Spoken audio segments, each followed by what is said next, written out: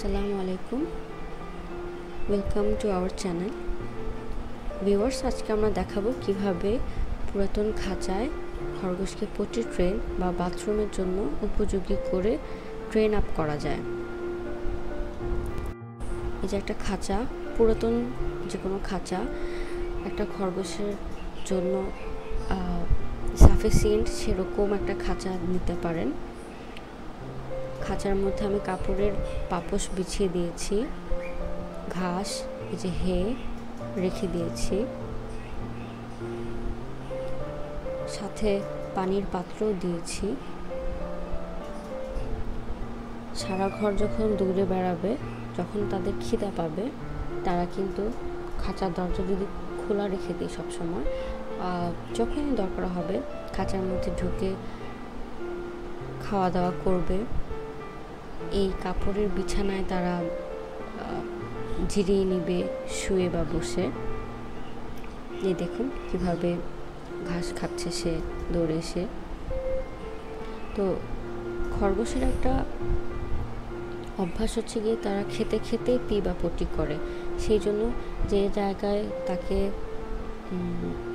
P পটির জন্য train up করতে চান, সেখানে খাবার রেখে দিবেন।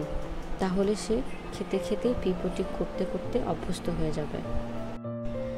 কাপড়ের পাপোশ প্রথম প্রথম ভিজিয়ে ফেলতে পারে, কিন্তু আস্তে আস্তে সে হ্যাবিটেট হয়ে যাবে। তখন দেখা যাবে যে কাপড়ের পাপোশে আর ভিজাচ্ছে না। অ্যাক্সিডেন্টলি ভিজে যেতে পারে কোনো এক কর্নার কিন্তু ফুললি ড্রাই থাকে।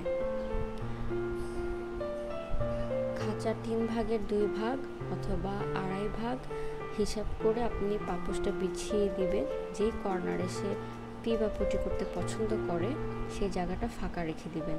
তাহলেই দেখবেন সে তার পি পটির সময় সেই জায়গাটাই ইউজ করতেছে, বাকি অংশ শুকনা থেকে যাচ্ছে।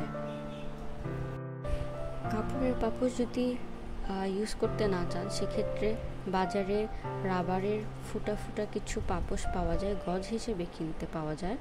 সেগুলো চাইলে খাঁচার সাইজে কিনে বিছিয়ে দিতে পারেন।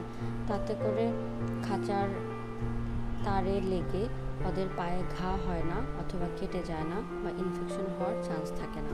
সে কারণে পাপোশটা জরুরি। তো আমি যেহেতু খরগোশকে ঘরে ছাড়াই রাখি সো তারা যতটুকু এরিয়ার মধ্যে ঘোরাঘুরি করে, তার মধ্যে একটা স্পেসে আমি খাঁচাটা রেখে দিই। দরজাটা ওপেন থাকে, তারা এসে পিপুটি করে নেয়। বারো ঘণ্টা পরে খাঁচার ছবি দেখাচ্ছি। এই দেখেন, হেলদি হেলদি পুপ মানে স্বাস্থ্যকর পায়খানা। এটার এরকমই হবে, যদি এরকমই হয়, তার মানে আপনার খরগোশ সুস্থ আছে। আর তা না হলে কিন্তু সেটা অসুবিধা। সো খরগোশ সুস্থ কিনা সেটা বোঝার জন্য আপনাকে ডেইলি পুপ অথবা পায়খানা খেয়াল করতে হবে। এই পায়খানা কিন্তু আপনি যদি বাগানি হয়ে থাকেন, বাগানে সার হিসেবে ইউজ করতে পারেন অথবা কোনো একটা টবে যদি ফেলে রাখেন, কতদিন পর ঘাসও উঠবে, তখন সেই ঘাস কিন্তু খাওয়াতেই পারবেন। এই দেখুন, ট্রে কতটা পরিষ্কার আছে, খুব বেশি কিন্তু ময়লা ওরা করে না। আর